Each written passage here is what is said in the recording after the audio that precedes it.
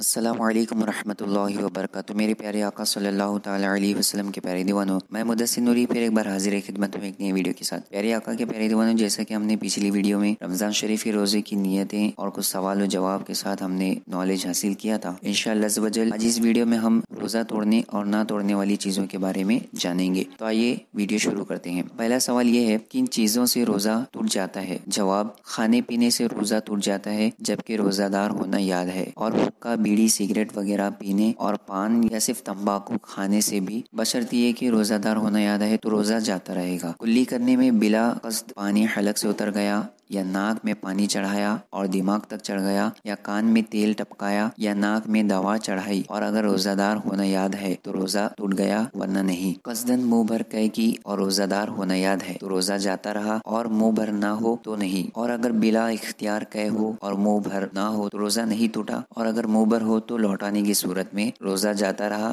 ورنہ نہیں۔ حوالہ باہری شریعت۔ دوسرا سوال یہ ہے کن چیزوں سے روزہ نہیں ٹوٹتا؟ جواب، بھول کر کھانے پینے سے روزہ نہیں ٹوٹتا، تیل یا سرما لگانے اور مکھی دیوان یا آٹے وغیرہ کا غبار حلق میں جانے سے روزہ نہیں جاتا، کلی کی اور پانی بالکل اگل دیا۔ صرف کچھ تری منہ میں باقی رہ گئی تھی۔ تھوک کے ساتھ اسے نگل گیا۔ کان میں پانی چلا گیا یا خاکار منہ میں آیا یا خاکار منہ میں آیا اور کھا گیا۔ اگرچہ کتنا ہی ہو، روزہ نہ جائے گا۔ احتلام ہوا یا غیبت کی تو روزہ نہ گیا۔ اگرچہ غیبت سخت گناہ کبیرہ ہے اور جنابت کی حالت میں صبح کی، بلکہ صبح تک ناپاکی کی حالت میں رہا۔ اگرچہ سارا دن جنوب رہا، روزہ نہیں جائے گا۔ مگر اتنی دیر تک ازدن غسل نہ کرنا کہ نماز قضا ہو جائے تو گناہ اور حرام ہے۔ حوالہ باہر شریعت تو پیارے آقا صلی اللہ تعالیٰ علیہ وسلم کے پیارے دیوانوں، امید کرتا ہوں آپ کو یہ میری باتیں سمجھ میں آئی ہوں گی۔ زیادہ سے زیادہ شیئر کریں۔ اللہ رب العزت کی بارگاہ میں دعا ہے کہ مولا ہمیں کہنے، سننے سے زیادہ اس پر عمل کرنے کی توفیق عطا فرمائے۔ دوران گفتگو اگر کسی قسم کی غلطی ہوئی ہو تو مولا اپنے حبیب کے ساتھ معاف عطا فرمائے۔ پھر ملتے ہیں اس کی نیکسٹ ویڈیو میں۔ جب تک کے لیے خدا حافظ۔ السلام علیکم ورحمۃ اللہ وبرکاتہ۔